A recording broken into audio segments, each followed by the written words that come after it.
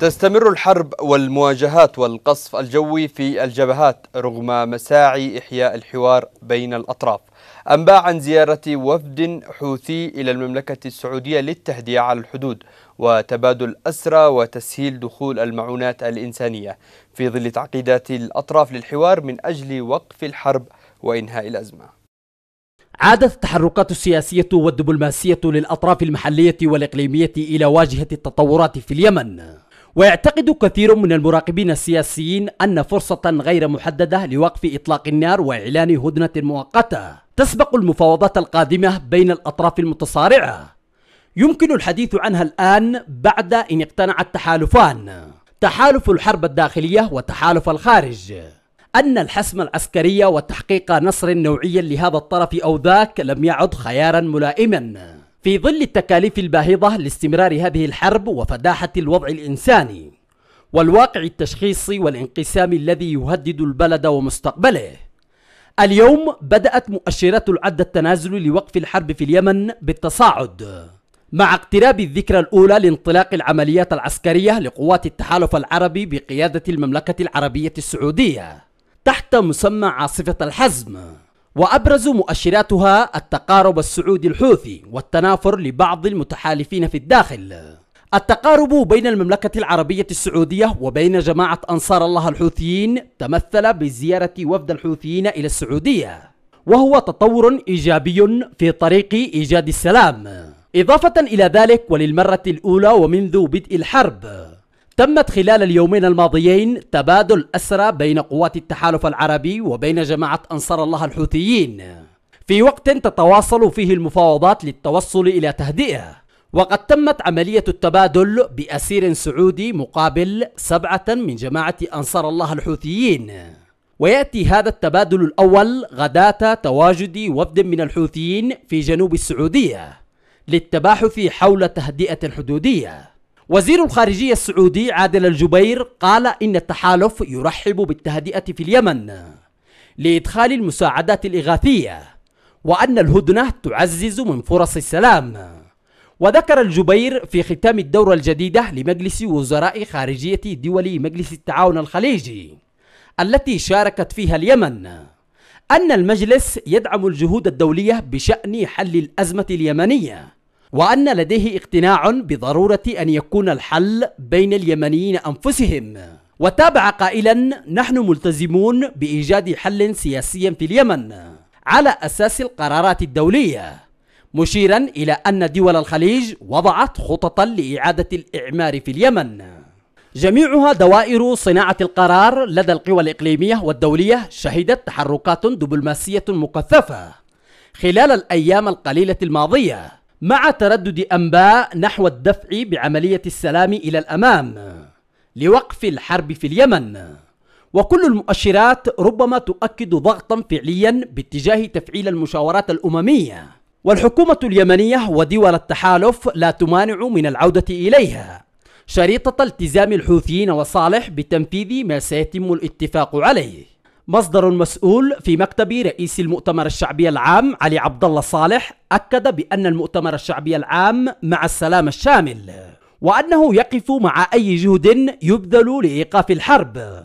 بما في ذلك إيقاف العمليات العسكرية من قبل طيران التحالف العربي. ورحب المصدر في تصريحاته بأن المؤتمر مرحبا بالجهود التي تبذل. وأن الدعوة إلى الحوار المباشر بين اليمن والسعودية سبق وأن أعلنها رئيس المؤتمر الشعبي العام سابقا ومنذ وقت مبكر. وفي الوقت الذي يزور فيه وفد الحوثيين السعودية بقيادة المتحدث باسم الجماعة محمد عبد السلام. نشر مسؤول كبير في جماعة أنصار الله رسالة على صفحته في الفيسبوك. يطالب فيها المسؤولين الإيرانيين بالبقاء بعيدا عن الصراع اليمني. جاء ذلك بعد يوم واحد من قول جنرال إيراني أن طهران قد ترسل مستشارين عسكريين لمساعدة قوات الحوثيين. وقال يوسف الفيشي عضو اللجنة الثورية العليا كفى مزايدات واستغلال بملف اليمن أما على الصعيد الميداني فقد تجددت الاشتباكات في مدينة تعز بين الأطراف المتحاربة بصورة شرسة وعنيفة. التجدد للمعارك هذه المرة شمل كل من الحصب والدحي وبرباشة وتبت الخوعة.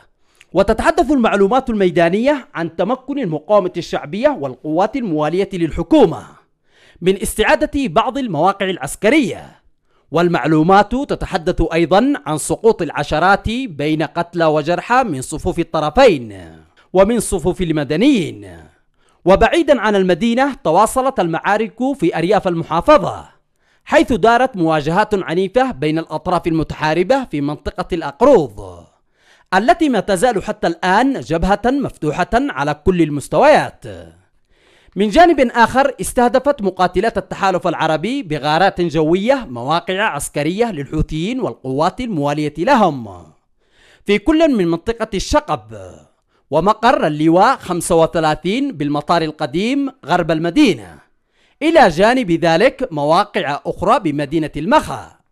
ويواصل التحالف العربي شن غارات أيضا في كل من مأرب والجوف ومحيط العاصمة صنعاء. وبعض المحافظات المجاورة. وتحدثت معلومات ميدانية عن مقتل مدني في مديرية بيحان بمحافظة شبوة. بغارة جوية للتحالف وبطريقة الخطأ. وفي الوقت الذي شهدت فيه الجبهات الحدودية هدوءا كبيرا. تحدثت معلومات عن سقوط قذائف على منطقة الطوال السعودية وسقط فيها مدني وأصيب آخرين. أما على مستوى ملف الجنوب فيستمر مسلسل الاغتيالات في مدينة عدن وتستمر الانفجارات من قبل مسلحين مجهولين والتي تستهدف منشآت وقطاعات حكومية وخاصة. كشف تقرير حقوقي أن الحرب الدائرة في مدينة تعز تسببت بتدمير أكثر من ألفي منشأة ما بين عامة وخاصة بشكل كلي وجزئي حيث شهدت معظم أحيائها دمار كبير وخرجت معظم المنشآت الخاصة والعامة عن الخدمة. تتوالى التقارير تلو الأخرى عن الوضع في تعز منظمات حقوقية وإنسانية محلية ودولية. وجميعها تؤكد وبما لا يدع مجالا للشك بأنها تعيش وضعا كارثيا بكل المقاييس. ولعل هذا الخراب والدمار الذي طال كل أحيائها وشوارعها خير شاهد على ذلك حيث تعد محافظة تعز. ومنذ اندلاع المواجهات فيها أواخر مارس في العام الماضي والمستمرة حتى اليوم الأعلى في نسبة السقوط واستهداف الضحايا المدنيين. أما بالنسبة للجانب المادي فقد أشار تقرير حديث بأن الحرب فيها تسببت في تدمير 2158 منشأة ما بين عامة وخاصة كليا وجزئيا وهي حصيلة غير نهائية. كما ذكر التقرير وهو صادر عن المجموعة اليمنية للتنمية والإعمار. إن من بين المنشآت المدمرة 161 منشأة خدمية عامة تتبع الحكومة. الأمر الذي يفاقم من حجم الوضع الإنساني في هذه المدينة المنكوبة والمحاصرة والتي يعيش سكانها في ظل ظروف استثنائية وصعبة بسبب النقص الحاد في الماء والغذاء والدواء. فقدوا منازلهم ومدينتهم. حالة لا يحسدون عليها يعيشها سكان الحالمة. في ظل القصف والدمار المتواصلين ليل نهار آملين أن تضع الحرب أوزارها بعد أن أرهقتهم وقتلت فيهم الحياة. وجعلتهم يعانون مع نسائهم وأطفالهم ويلات العذاب دون تحريك العالم لساكن لإنهاء أو حتى تخفيف معاناتهم. يحتفل العالم في الثامن من مارس باليوم العالمي للمرأة في اليمن. المرأة اليمنية تحتفل بمعاناتها مع الحرب. في عدن كان للمرأة انطباعها حول هذا اليوم. نتابع في التقرير. احتجاج مصيري في صباح عيد. عاد عليهن بكثير مما مضى. هن فقط التي خرجن يمثلن واقع المرأة بعدن في اليوم العالمي للمرأة. لافتات توجهت رسائلها إلى أكثر من اتجاه. ولا وردة قدمت لواحدة منهن. في المناسبة أو في كونهن أمهات الشهداء. فماذا بود القيادية في الحراك الجنوبي عفراء الحريري أن تقول في هذه المناسبة؟ بمناسبة ذكرى المئة وستة يوم المرأة العالمي أرتأينا أن نقيم في من ضمن أنشطتنا آه، مسيرة نسائية آه، وضع المرأة اللي تراجع كثيرا آه، إلى الوراء. في عريضتنا أيضا طالبنا بإقالة ومحاسبة الفاسدين وخاطبنا بشكل مباشر الحكومة إذا كانت لا تستطيع أن تتحمل المسؤولية فلتقدم استقالتها وتترك بضع نساء شهدنا الثلاثاء الماضي في عدن في مسيرة راجلة ذكرت في توقيتها باليوم العالمي للمرأة وعكست في حجمها الشحيح إلى أي مدى أثرت الأحداث الأمنية المفتعلة من أطراف متخفية قاتلة في طلاقة الإرادة السياسية والثورية للمرأة العدنية التي عرفت بها منذ خمسينيات القرن الماضي لكنها في مجملها مسيرة كسرت حاجز الخوف. أحيي كل أم وأحيي كل أخ أحيي كل ابنة قدمت آه، آه، شخص عزيزة عليهم من أجل هذا الوطن الغالي. طبعا نحن اليوم بذكرى 8 مارس يوم المرأة العالمي ولن أنكر القول كنا متعودين بحضور التكريم أول فعالية التي ستقام يا معاشر آه، لتكريم المرأة. ولكنني رفضت الدعوة وأعتذر لسيادة وزير رئيس الوزراء. وذلك للأسباب التالية أنه لنا نحن مطالب لن أكذب على نفسي وعلى العالم وعلى مجتمعي كذلك فإن الأوضاع الأمنية والاقتصادية والتعليمية مستقرة في بلدي نحن نعاني من فساد وفاسدين في البلاد نعاني من الإرهاب نعاني من تدني بمستوى الخدمات. بهذا النموذج النسوي عبرت المرأة العدنية عن رفضها المطلق لكل أشكال الترهيب وتحديها لمهددات متطرفة تستهدف حريتها. والأسوأ من ذلك أنها تتوعد بأفغنة حالها. رغم الواقع الصعب احتفلت المرأة اليمنية بيومها العالمي من خلال عدد من الفعاليات المعبرة عن دورها في المجتمع. المرأة هي الأخت والأم والصديقة والزوجة فلها كل الاحترام. المرأة نصف المجتمع فتعتبر أسطورة من الصبر والتحمل والتقدم حيث أصبحت المرأة اليمنية تعيش حالة من المعاناة في ظل الأوضاع التي تمر بها البلاد وما زالت تكافح للوصول إلى حياة كريمة وعالية. المرأة خلال العصور الماضية عانت ما عانت. الآن هي تنهض هي تقدم آه، حضور متميز وتعوض عن ما همشت به.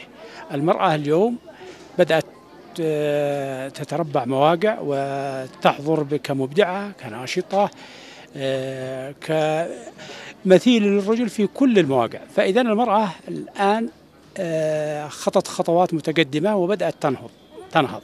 يوم المرأة العالمي أهنئ كل مرأة في الداخل وفي الخارج وبالأخص في اليمن بشكل عام في صنعاء في عدن في لاحج في صعدة في كل مكان من مناطق اليمن. وأحييها أني آه، في ظل الظروف هذه وفي ظل الظروف الصعبة آه، هي المرأة الوحيدة ال- المتحملة أكثر عبء. مهما طالت هذه الفترة مهما طال الظلم الذي يمارس علينا فالنساء آه، بي- بيعملين بشكل يعني متآزر. يأتي اليوم العالمي للمرأة والمرأة اليمنية. ما تزال تعيش وضعا صعبا عكس ما كانت في السابق. ولكن الأوضاع في البلاد جعلتها أقوى مما كانت عليه وجعلتها تمارس كل الأعمال لاستمرارية الحياة. طبعا المرأة إجمالا من زمان بتعاني كثير من نقص أه، في مثلا أه، الحاجيات الأساسية والضرورية في الحياة. لكن بعد ال- الأزمات وال الحروب ال- ال- الحاصلة في اليمن. زاد طبعا تضاعف عليها ال- تضاعف عليها الهموم أه، لأنه أه، حصلت مشاكل أساسا في أه، في البنية التحتية فبالتالي تضررت الكهرباء وتضررت ال- البنية التحتية الصحية. فبالتالي تتفاقمت المشاكل اللي كانت أساسا متواجدة. وتزامنا مع اليوم العالمي للمرأة الثامن من مارس احتفلت بلادنا بفعالية تحت شعار ألف وردة للسلام. التي أقامها تكتل إعلاميات لدعم قضايا النساء وبالشراكة والتعاون مع عدة منظمات ومؤسسات المجتمع المدني. وتضمنت الفعالية الكثير من الفقرات الثقافية التي تسلط الضوء على النساء اليمنيات التي لهن أثر كبير في عجلة النهضة وتم توزيع ورود للحاضرين تعبر عن السلام. فخورين جدا بالأثر الذي تركناه في إطار ال ال الاحتفالات بهذه السنة. في العام الماضي كنا تقريبا المؤسسة الوحيدة التي تقريبا كنا المؤسسة الوحيدة التي آه، نفذت مثل هذا النشاط وربطه وربطته بمبدأ السلام. الآن جميع المنظمات تقريبا تسعى للاحتفاء بيوم المرأة العالمي وهذا يعد قصة نجاح حقيقية للتكتل التكتل الإعلامي لدعم قضايا النساء ولمؤسسة وجه الإعلام والتنمية وشركائها آه، والجهة الراعية للحفل المفوضية السامية لحقوق الإنسان. الاحتفال آه، هو تقليد سنوي آه، كنا قد قمنا بالعام الماضي بإقامته تحت شعار ألف وردة حملة ألف وردة للسلام. خرجنا كيمنيات العام الماضي لنوزع الورد لندفع بالسلام لندفع أطراف العملية السياسية للسلام.